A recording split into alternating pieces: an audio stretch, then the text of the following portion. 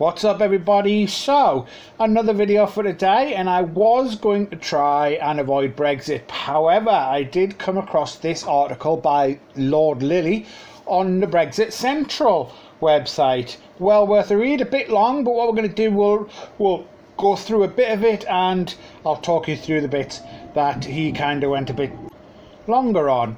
So, the Supreme Court has ruled that the prorogation of Parliament was illegal. That is now just that is now the law, so the government must and will obey it, like we obey acts of Parliament. But just as we can criticise an act of Parliament, we are entitled to criticise this judge made law. The issue of prorogation itself is of secondary importance. When the decision to prorogue Parliament was announced, I was at a dinner in France and everyone asked what it meant. I confessed I could not see what it achieved, since it would not stop a rogue majority of MPs uh, again passing an act in two days to force government to postpone leaving the EU, uh, which I'd like to say that's exactly what happened, wasn't it? True, it would stop Parliament meeting during the conference recess, but no one has suggested that it should.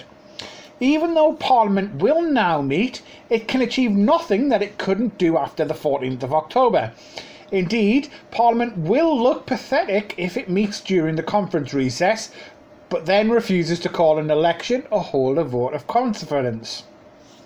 So that, uh, that's an interesting way of looking at things, and I think I agree. If we start seeing all these MPs coming back during this season, what's that going to look like? That's going to look like a very but unbalanced house and they won't get anything done anyway. So, continuing on, this prorogation itself may not matter much, but the Supreme Court decision nonetheless raises disturbing issues.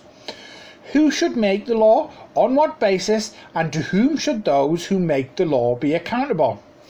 So, going a bit uh, off here and, and summarising what he goes on to say, he basically says the role of the court is to apply the law and assess evidence as to whether defendants have obeyed them.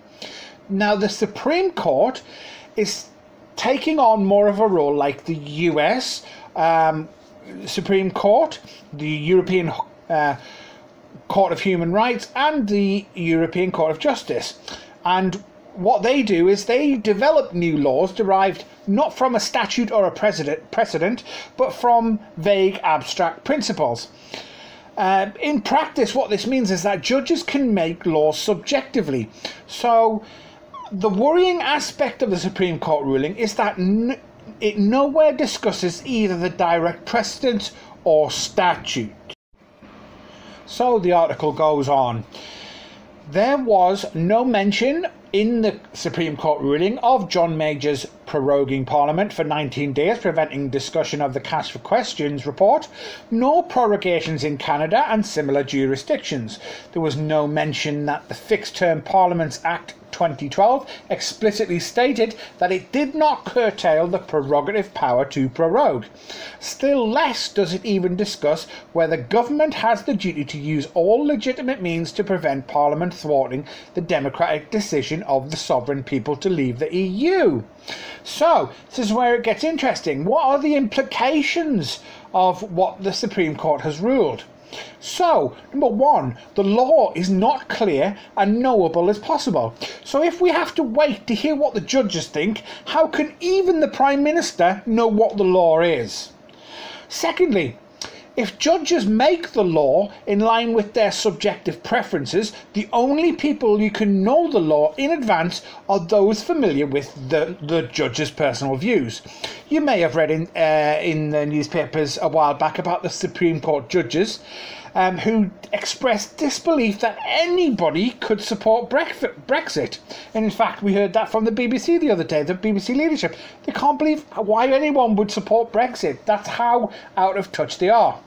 So, uh, with the Supreme Court believing that way, this is the main reason that we were advised the court would find against the government in advance. This is why we were hearing all those things leading up to the um, the findings. Okay, so third, we've got to consider when most of the senior judges feel free to make new laws based on their own personal prejudices. The, the, the, the role of the judges in the judiciary will become political.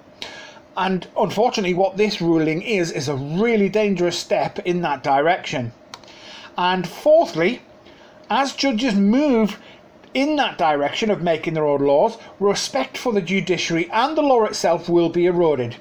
We expect our judges to apply the law impartially, not to be partisans of one political party or another.